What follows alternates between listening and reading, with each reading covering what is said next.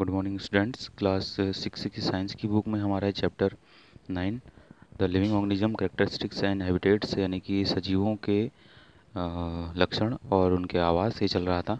ठीक है तो आज की इस वीडियो में हम सजीवों को जो लक्षण होते हैं उनको हम पढ़ेंगे। तो पहला लक्षण है, do all organism need food? क्या सभी सजीवों को भोजन की आवश्यकता होती है?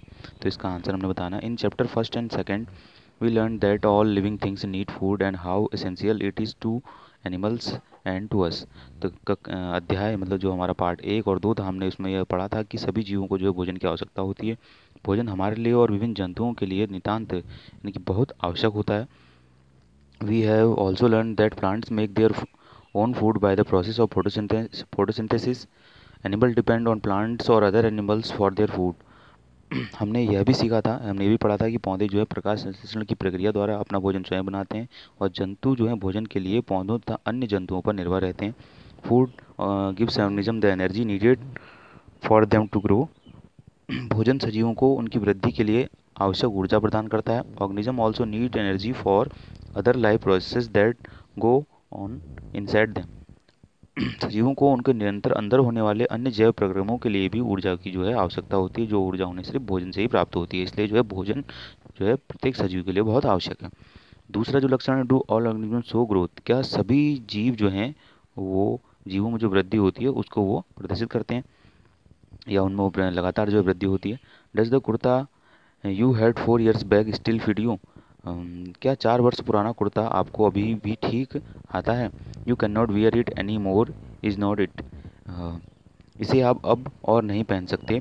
You must have grown taller during these days इसे जो है आप नहीं पहन सकते। अन्य वर्षों, इन वर्षों में जो है आप जो है लंबे हो गए हैं। You may not realize it but you are growing all the time and in few more years you will become an adult आपको इसका आभास नहीं हो रहा है, लेकिन आप आप में हर समय जो वृद्धि हो रही है और कुछ वर्षों बाद आप व्यस्क हो जाएँगे। Young ones of animals also grow into adults जंतुओं के बच्चे भी जो है वृद्धि करके व्यस्क हो जाते हैं। You would surely have noticed pups grow into adults आपने जो है अवश्य देखा होगा कि कुत्ते के बिल्ले व्यस्क हो जाते हैं। Chick hatched from an egg grows into a hen और ए कॉक एक अंडे से स्फुटित होकर या फूट करके चूजा जो है मुर्गी का बच्चा, वह जो है एक व्यस्क मुर्गी या मुर्गा बन जाता है।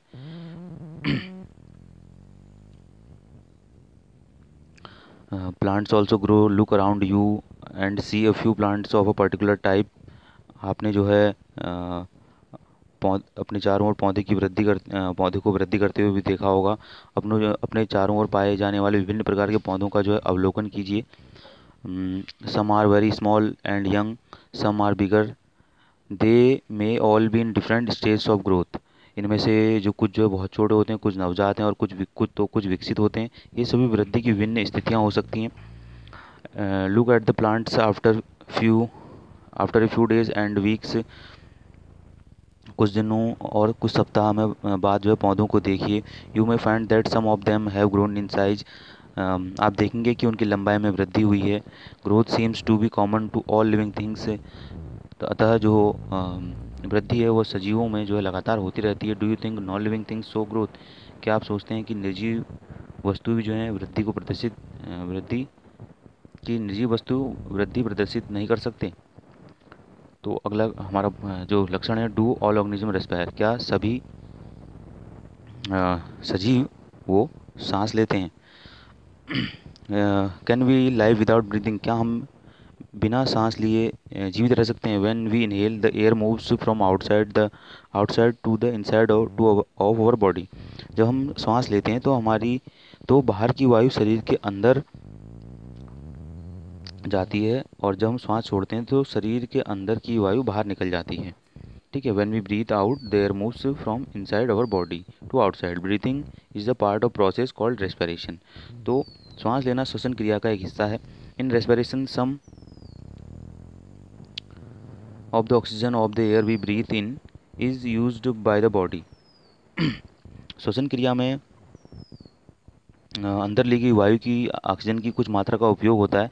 इस क्रिया में बनी हुई उपयोग होता है। We breathe out carbon dioxide produced in this process और इस प्रक्रिया में बनी श्वसन की प्रक्रिया में बनी कार्बन डाइऑक्साइड को हम श्वास के द्वारा जो है वो बाहर निकाल देते हैं।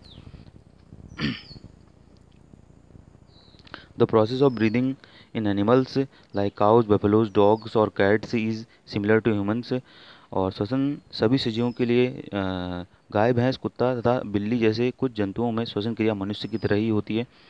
Observe any one of these animals while they are taking rest and notice the movement of their abdomen इनमें से किसी भी जंतु का विश्राम की अवस्था में प्रेक्षण कीजिए तथा उन, उनके उदर की गति पर ध्यान दीजिए। This slow movement indicates that they are breathing उनकी यह मंद गति उनकी सांस लेने की क्रिया को दर्शाती है। Respiration is necessary for all living organism it is through respiration that the body finally obtains energy from the food it takes श्वसन सभी जीवों के लिए आवश्यक ग्रहण किए गए भोजन से श्वसन के द्वारा ही हम, हमारे शरीर को जो है ऊर्जा मिलती है। Animals may have different mechanism for exchange of gases, which is a part of the respiration process. कुछ जंतुओं में गैस आदान प्रदान का तरीका भिन्न हो सकता है, जो श्वसन का एक हिस्सा होता है। For example earthworm breathe through their skin fish we have learn have gills too for using oxygen dissolve in water the gills absorb oxygen from air dissolve in water उदाहरण के लिए, कैंचुआ जो है त्वचा से सांस लेता है। हमने पढ़ा है कि मछली के गिल होते हैं जिनकी सहायता से वह जल में विले वायु से जो है ऑक्सीजन अवशोषित कर लेती है। डू प्लांट्स ऑल्सो रेस्पायर क्या पौधे भी जो है श्वसन क्रिया करते हैं? Exchange of gases in plants mainly takes place through leaves पौधों की श्वसन क्रिया में गैसों का आदान प्रदान मुख्यतः पत्तियों द्वारा होता है। The leaves take in air through tiny pores in them and use the oxygen पत्तियों में जो है सूक्ष्म रंध्र, जिन्हें स्टोमेटा कहा जाता है वो उनमें उनके द्वारा जो है वायु अंदर ले जाती है और जो ऑक्सीजन होती है तथा ऑक्सीजन का वो सूक्ष्म रंध्रों द्वारा जो है, स्टोमेटा द्वारा जो है कार्बन डाइऑक्साइड वो जो है अंदर ले जाती है और ऑक्सीजन गैस जो है पौधों के द्वारा बाहर छोड़ी जाती है, ठीक है?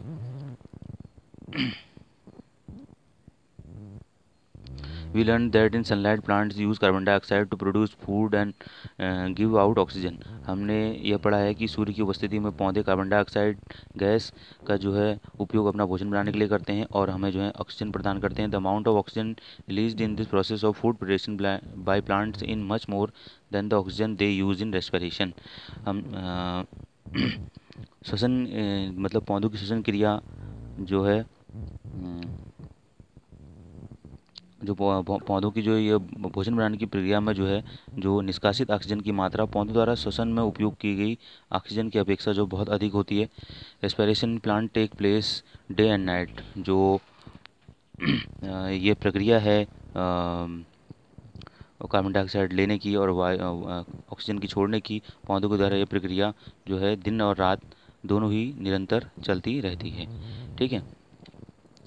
ये हमने तीन सजीवों के लक्षण पढ़ ली पढ़ लिए हैं कि सजीवों को भोजन की आवश्यकता होती है, सजीव वृद्धि करते हैं और सजीव शोषण करते हैं।